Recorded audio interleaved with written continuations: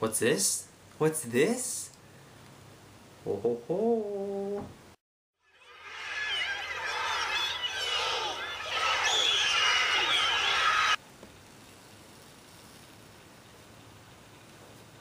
So today, if you didn't already know, is Valentine's Day, February 14th. So happy candy makers, florists, and jewelers got together and decided to create a day to target men's wallets to fill the slump between Christmas and Easter and will use showing your significant other you love them as the premise because who wants to be the guy who didn't get the candy and the flowers day?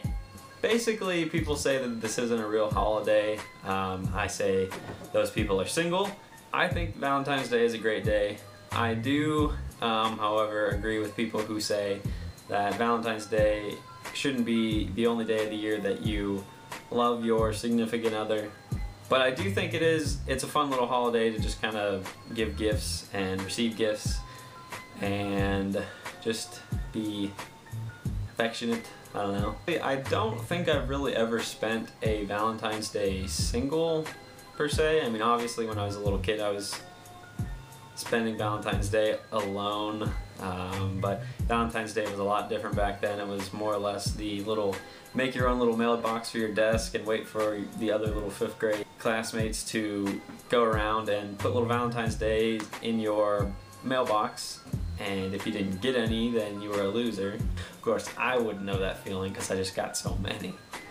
Um, no, uh, but no, uh, like I said, I think Valentine's Day is a great holiday, and I think that, um, geez, I don't know where I'm going with this.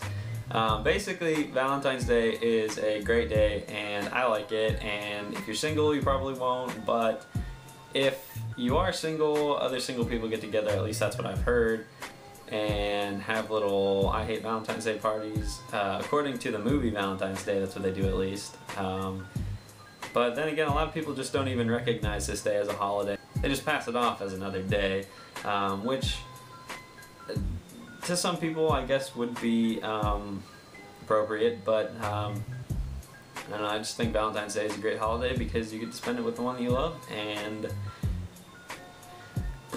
yeah, yeah I don't know where else I'm going with this. I'm starting to sound like a, a love guru, which I am not, so uh, yeah. Um, that's basically all I had to say, so I will talk to you when I talk to you.